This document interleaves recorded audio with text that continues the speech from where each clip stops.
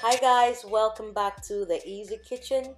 So today we're preparing egg stew with vegetables and these are the ingredients that I'll be using. This recipe is so so simple, so quick and easy to make. So let's get on with the video. So first of all you will need your eggs. I'll be using 5 whole eggs. You can use any type of eggs you want to use. Then 1 cup of cooking oil. This is canola oil. You can use vegetable oil also. Some salt to taste. Powdered shrimp, carrots, spring onions, and a bulb of onion. 5 fresh tomatoes, nutmeg, curry powder, tomato paste, sliced onions, is half, adobo seasoning, Jamaican hot peppers, ginger, garlic, green bell pepper, bay leaves. So what I'm going to do is I'm going to blend my Jamaican hot pepper with garlic, ginger, and just half of the green bell pepper with half bulb of onion. Blend everything together and then proceed with the stew. But first of all, I'm going to pour my one cup of oil into my pan. Add, when it's hot, I'll add my sliced onions this is half a bulb. So in all, I'm using one and a half bulbs of onions. This is the blended mixture. So I've poured that into my oil. So I'm going to add about 3 tablespoonfuls of tomato paste. Stir it up and let it cook for about 3 minutes. Is that supposed to look like? So now I'm going to blend my fresh tomatoes and pour that into the tomato paste also.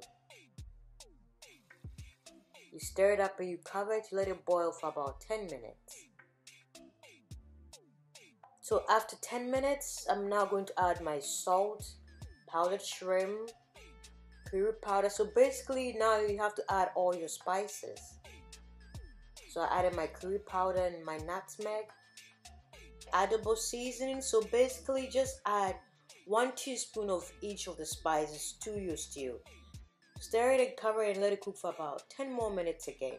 So at this point, I'm going to add my carrots or any type of vegetable that you are using. You can use any type of vegetable for this stew. Then I'll add my sliced onions and my green bell pepper.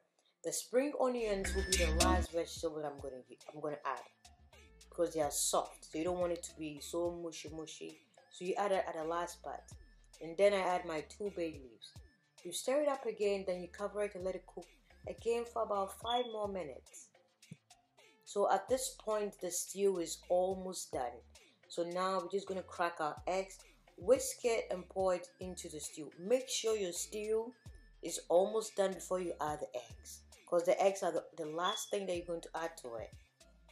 So now pour your whisked eggs onto your stew then use your cooking spoon or spatula to kind of open it up to make sure the raw eggs are going everywhere. So afterwards you cover it, you let it cook on low heat for about 10 minutes. And this is how it's supposed to look like.